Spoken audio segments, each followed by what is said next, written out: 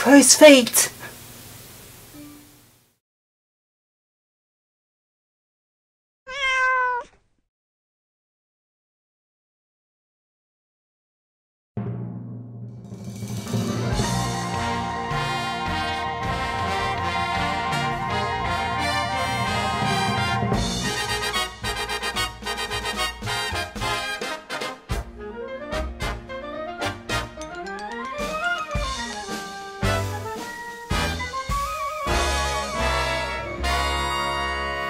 Okay, question from Roma Dog.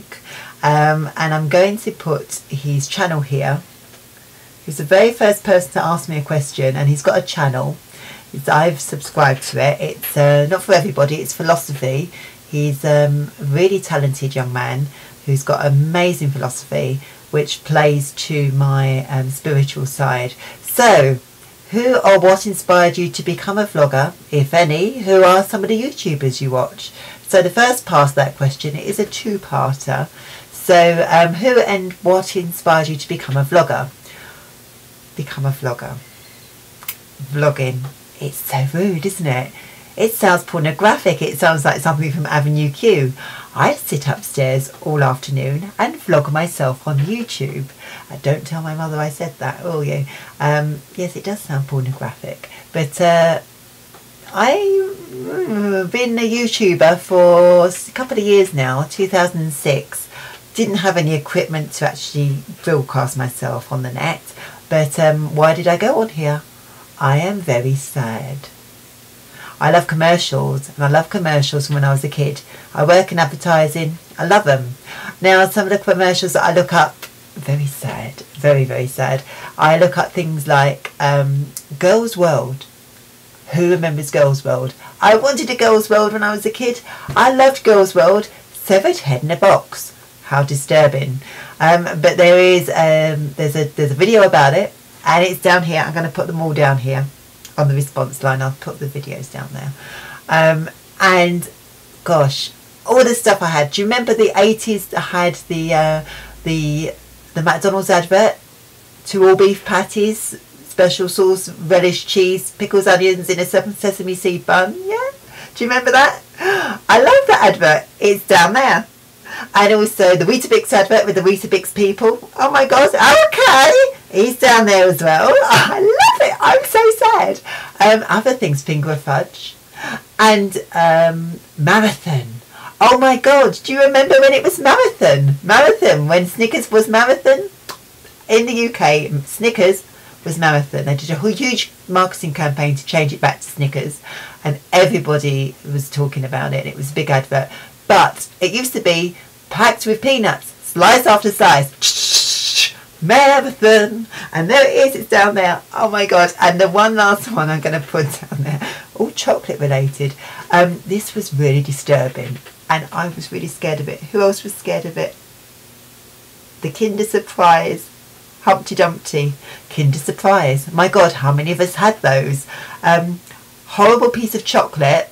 Lots of money a crappy little toy that got sucked up the hoover. Now what did we used to do with them? Me and my brother used to use the little yellow bit, the yellow bean thing.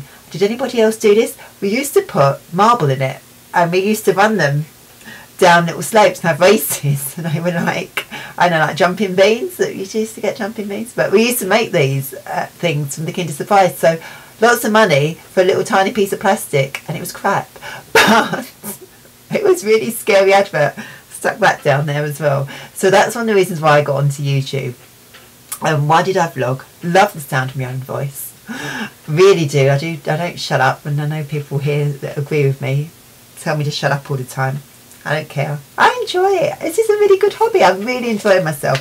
But um, people who inspired me is a really big thing um, with YouTube because there's some really wonderful people on here that do some vlogs, do videos, and do some really good work. Um, unlike mine, mine's just yada yada yada, gassing away, no big real huge big thing.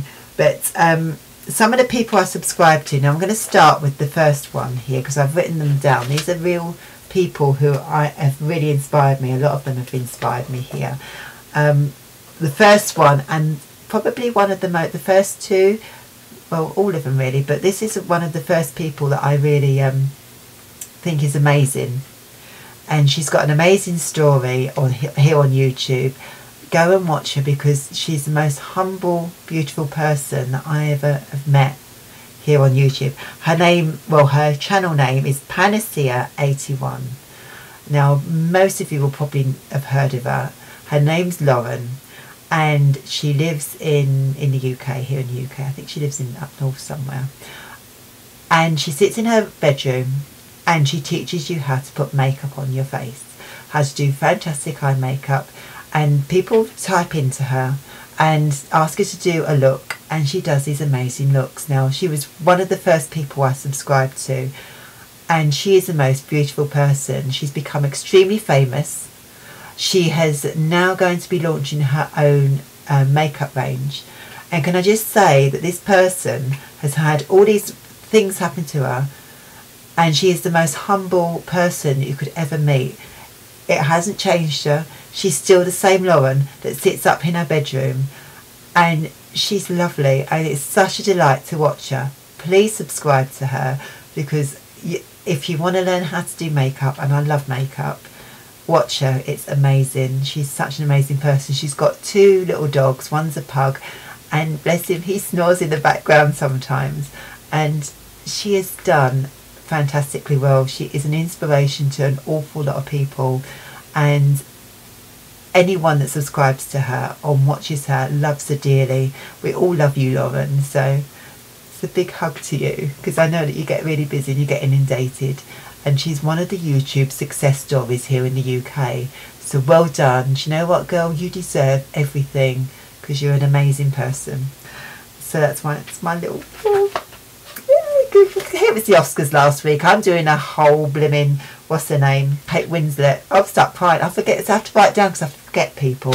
Next person, Wonder Robbie. Wonder Robbie, watch him. Now, he's a guy from the States. He's in Manhattan and he does vlogs, he video logs, and he's just fantastic. One thing about Robbie that I just he captured my heart with the Xanadu thing. Love Xanadu. Always love. You know me. I love musicals. Love Xanadu. And uh, he's a fellow musical lover. Um, and he's just so cool. He also does like a whole miming thing to to drag, but he's not. He doesn't dress in drag on here, but it's really entertaining. Go and watch him. And because of him, I also met the next person, which is um, Aunt Barbara. this is the most fantastic thing. Aunt Barbara. Please subscribe to Aunt Barbara. She sells Tupperware on YouTube and it's so funny. She's from Long Island, and okay, in the UK we won't be able to buy off of her site or anything. But she's so funny. She's like a 1950s housewife, and it's a. I'm sure she. I think she's a drag queen. I'm sorry if you're not, but you're just so funny. It's a bit like Pam Ann and all that. It's Lily Savage, an American Lily Savage, selling Tupperware, and it's so funny. And it, she really does sell Tupperware on YouTube. Watch it, it's the most hilarious thing ever.